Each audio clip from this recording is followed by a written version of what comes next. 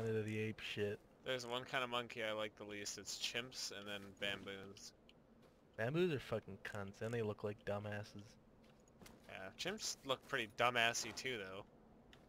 To be fair. I'm gonna lie though, bamboos uh, look fucking terrifying, especially when they show their teeth. Oh my god, it's the worst. Fucking- They're so sharp and shit. It's like, what the fuck?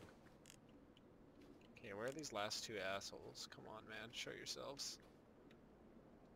Subbing pussies. you just look at pictures of baboons and they look like fucking retards.